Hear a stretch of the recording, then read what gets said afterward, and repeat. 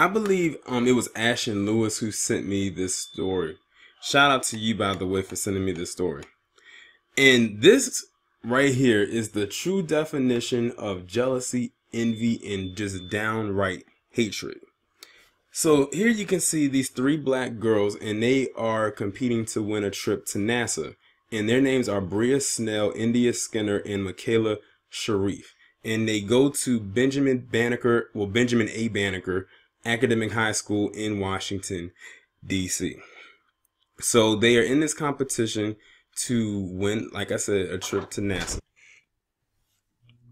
Sorry, I had to leave off right quick, but yeah, so they're basically in this competition to win a trip to NASA, like I specified for um, an invention that they came up with, which is very, actually, uh, very interesting. By the way, I'm gonna read it. This says that they have created some kind of technology that would purify public schools' water system through filtration jars that filter water while detecting pH imbalances. Sounds very interesting. Now, here's where the hate and jealousy and envy occurs. These girls were winning because it's based on a voting process. These girls had 78% of the vote.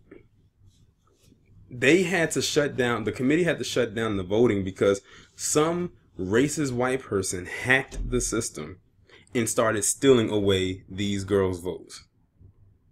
And I believe they left their mark because they left comments saying, well, they shouldn't win because they're black or they shouldn't win because you know they won't get it based on merit but based on popularity because they're black now that merit in, that popularity and that quota thing why does that sound so familiar well that's because i just did a story about a young um, black male who got accepted into harvard and you had that white man in texas question whether he got in based on merit or quota because of affirmative action see this is the stuff that i'm talking about right here black people whether young old boy, girl, man, or woman can do anything that they want, whatever they put their mind to.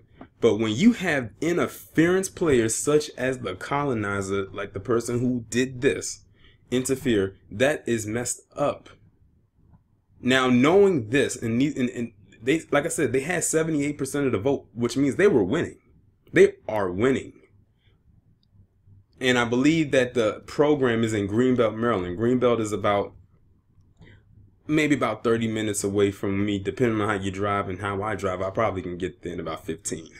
But uh it's messed up. Like these girls worked hard and did it on merit and on their know-how. They must have not seen the movie Hidden Figures, and despite the certain fallacies that they put in that movie, the actual story of those three black women who worked at NASA is indeed true. And here you have three young black girls pretty much trying to do, you know, the same thing.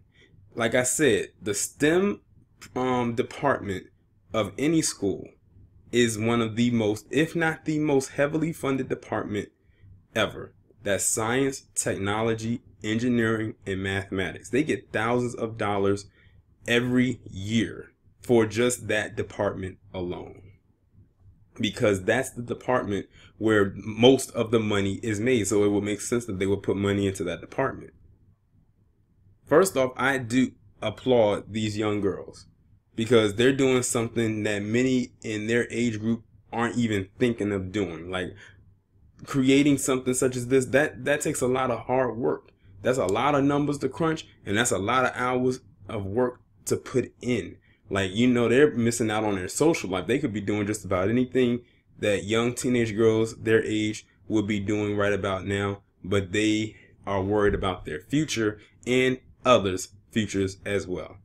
But to be interrupted when they are doing something such as this, it's like I said, it's all the way messed up, but it's not shocking, nor is it surprising that the colonizer would engage in such trickery as this because they are known to do stuff like this and have been. It's called moving the goalposts. They are mad because these girls are actually producing something tangible that they can't.